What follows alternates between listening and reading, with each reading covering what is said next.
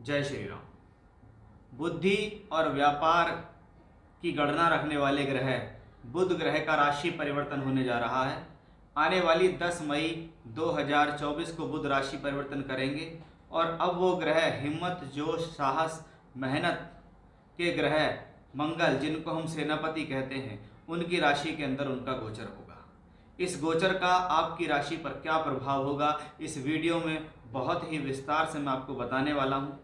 जैसा कि आप सभी जानते हैं कि इससे पहले बुध बृहस्पति की मीन राशि में थे, जहाँ पर वो नीच के होते हैं, जहाँ पर वो राहु केतु अक्ष पर रहे। और पिछला काफ़ी समय अगर देखें तो लगभग लगभग 50 से 60 दिन का समय बुध ग्रह ने वक्री होकर, मार्गी होकर कभी नीच के हुए, कभी कुंभ राशि में गए, कभी राहु केतु अक्ष पर चले गए। तो इसलिए इस प्लेनेट के अंदर बहुत ज़्यादा डिस्टर्बेंस आया।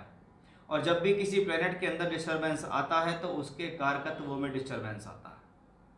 अब वो डिस्टर्बेंस बहुत हद तक दूर होने जा रहा है, क्योंकि अब बुध ग्रह मंगल की मेष राशि में प्रवेश करने जा रहे हैं। यानी जहाँ बुध को हम राजकुमार कहते हैं, वहीं मंगल को हम सेनापति कहते हैं। बुध जिसको हम गणित का कारक कहते हैं अकाउंटेंसी कहते हैं, व्यापार कहते हैं, सोच समझ कहते हैं, शिक्षा कहते हैं, बोलने की क्षमता कहते हैं, वाणी, याददाश्त, ये सब कुछ बुध ग्रह के ही तत्व हैं। अब ये बुध ग्रह शिक्षा को भी सबसे ज़्यादा प्रबोधित करता है। अब ऐसा ही एक ग्रह, जब नीच का हो रहा हो, राहु केतु अक्ष पे हो तो वो पीड़ित होता है, वो अपने पूर्ण फल नहीं देता। अब ये ग्रह वहाँ से निकलकर प्योरली एक तरीके से देखें तो एक नया जन्म बुध ग्रह का यहाँ हुआ, जहाँ पिछले साठ दिनों में जो पीड़ा झेली है, अब उस पीड़ा का अंत हो गया है। दस मई से लेकर तीस मई तक, यानी अभी शुरुआत के बीस दिन मई के महीने में बुध ग्रह मंगल की राशि में गोचर करेंगे। ये मंगल अग्नि तत्व राशि कहलाती है, ये मंगल की। सामान्य तौर पर देखा जाता है कि बुध ग्रह मंगल का मित्र नहीं है। लेकिन यहाँ बुध ग्रह मंगल की मेष राशि के अंदर है और मंगल को भी हम तेज के लिए जानते हैं जोश हिम्मत साहस के लिए जानते हैं। दोनों ही ग्रह युवा हैं, इसका मतलब कहीं ना कहीं ये बुध ग्रह मंगल की राशि में जाकर आपकी चपलता, आपकी चतुराई को बढ़ाएगा। आपकी याददाश्त को अच्छा करेगा, आपके बोलने की क्षमता को अच्छा करेगा, सोचने, समझने की शक्ति को बढ़ाने में सक्षम होगा, ये बुध ग्रह जब ये मंगल की राशि के अंदर गोचर करेगा।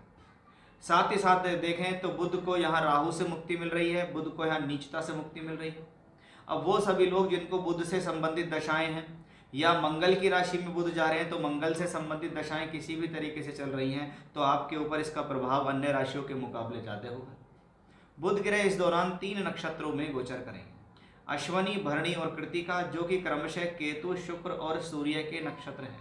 तो बुध ग्रह का यहाँ केतु के नक्षत्र में, शुक्र के और सूर्य के नक्षत्र में जाना भी किसी न किसी प्रकार से एक अच्छा ही बल देता है। क्योंकि यहाँ केतु और शुक्र दोनों अगर देखा जाए तो बुध ग्रह के मित्र भी होते हैं। अगर आपका जन्म इसमें से किसी नक्षत्र में हुआ है, या आपकी कुंडली के अंदर कोई भी प्लेनेट मेष राशि में बैठे हैं तो वो कहीं ना कहीं अश्वनी भरणी कृतिका नक्षत्र में ही होंगे और बुध ग्रह भी उसके ऊपर ही गोचर करेगा। तो उसके ऊपर इसका प्रभाव और ज़्यादा अधिक हो जाता है।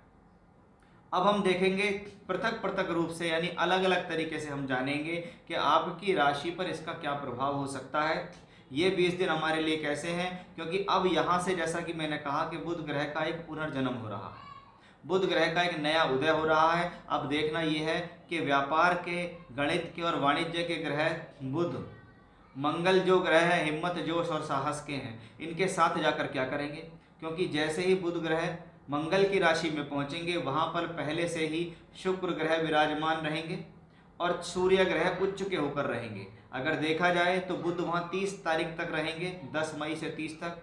तो 19 मई तक शुक्र भी उसी राशि में रहेंगे और सूर्य भी 14 मई तक उच्च का होकर रहेंगे। यानी कुछ ना कुछ सूर्य और शुक्र जैसे ग्रहों का प्रभाव भी बुद्ध के साथ रहेगा। अब आइए जानते हैं इसका आपकी राशि पर क्या प्रभाव होने वाला है और कैसे एक नई शुरुआत आपके लिए हो सकती है और कैसे आपके लिए आने वाले समय में ग्रहों की स्थितियाँ क्या लाभ दे रही हैं, क्या सावधानी देंगी आपको, क्या चेतावनी देंगी, वो सब बड़े विस्तार से समझने की हम यहाँ कोशिश करते हैं। देखते हैं कि धनुराशि के जातकों के जीवन में इसका क्या प्रभाव होने वाला है। धनुराशि, आपकी राशि से पाँचवें घर के अंदर ये घटना घटेगी। आप देखिए, राशि से पंचम भाव में बुध ग्रह मंगल की राशि में गया है। पंचम भाव शिक्षा का है। शिक्षा भाव के स्वामी कौन है? मंगल है। मंगल की राशि के अंदर बुद्ध का जाना आपकी बुद्धि को तेज और चपल करता है। पंचम भाव में बुद्ध गया है। इसका मतलब ये स्थिति कहीं ना कहीं आपके जीवन में शिक्षा के तौर पर बेहतरी को दिखा रही है। तो सबसे अच्छी बात, जो लोग पढ़ रहे हैं, उनके लिए शुभ है। वहीं सप्तम भाव का मालिक गया है। पंचम भाव में ये स्थिति विवाह, वैवाहिक संबंध और प्रेम संबंधों के लिए शुभ है। क्योंकि इससे पहले ये बुद्ध यहाँ नीच का होकर राहु केतु अक्ष पर था। वहीं दशम भाव का स्वामी भी अब नीच का नहीं रहा, राहु केतु अक्ष पर नहीं रहा और त्रिकोण भाव में चला गया। इसका मतलब ये कॉम्बिनेशन अब आपकी व्यापारिक वृद्धि, नौकरी के अंदर आने वाली अड़चनों को सॉल्व करेगा। कहीं ना कहीं आपके जीवन में प्रोफेशनली ये समय कुछ बेहतर होता दिखाई देता है। अब इसके साथ दो ग्रह और हैं। हम अकेले बुद्ध से ही सब प्रडिक्शन नहीं कर सकते। हमने मोटे तौर पे देखा कि दो केंद्र का स्वामी त्रिकोण में गया है, शुभ होता है। केंद्र के स्वामी, त्रिकोण में जाएँ, त्रिकोण के स्वामी केंद्र में जाएँ तो ये शुभ फल देते हैं, इन्हीं से हम राजयोग बनाते हैं। लेकिन इसके साथ क्या है, उन्नीस तारीख तक शुक्र है, जो लाभेश होके है, पंचम में बैठकर वापस बुध शुक्र यहाँ देख रहे हैं, यानी उन्नीस तक का समय और बेहतरी को दर्शाता है प्रोफेशनली गेन करने के लिए। क्योंकि जब लाभ से संबंध बनता है तो गेन होता है। प्राप्तियाँ होती हैं। नौकरी में हो, चाहे व्यापार में हो, चाहे पैसा हो, किसी भी तरीके से ये स्थिति फाइनेंशियल आपको सपोर्ट करने वाली है। तो वहीं हम देखते हैं कि नवम भाव का स्वामी सूर्य भी उच्च का होकर यहाँ है, यानी भाग्य अब मेरा साथ देगा। अगर आप देखें तो कुछ समय के लिए ये नवम और दशम के स्वामी, नवम, दशम, एकादश, भाग्य, कर्म, लाभ, इन तीनों का संबंध आपके त्रिकोण भाव में बनता है, जिसको हम धनयोग, राजयोग कहते हैं। यानी बुध ग्रह को तुरंत सहयोग देने के लिए तैयार बैठे हैं सूर्य और शुक्र। सूर्य कुछ कम दिनों के लिए सहयोग देंगे, शुक्र उससे ज़्यादा दिनों के लिए सहयोग देंगे और बाद में बुध जब अकेले रह जाएँगे तो भी उनका संबंध यहाँ से बैठकर इलेवंथ हाउस से ही बनेगा।